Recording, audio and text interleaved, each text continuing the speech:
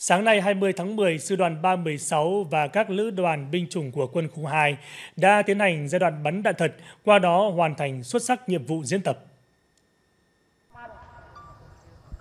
Giai đoạn bắn đạn thật với đề mục Tiểu đoàn bộ binh tiến công địch lâm thời phòng ngự ở địa hình rừng núi. Sư đoàn 316 đã phối hợp chặt chẽ với các đơn vị cùng tham gia diễn tập, vận dụng cách đánh linh hoạt, sáng tạo. Cuộc diễn tập kết thúc thành công theo đúng ý định của Ban chỉ đạo diễn tập quân khu. Quá trình bắn đạn thật đảm bảo an toàn tuyệt đối về người và vũ khí trang bị. Ban chỉ đạo diễn tập cũng tăng cường chỉ đạo lực lượng đạo diễn, phát các tình huống mới để các đơn vị xử trí, nhất là ở giai đoạn thực hành chiến đấu.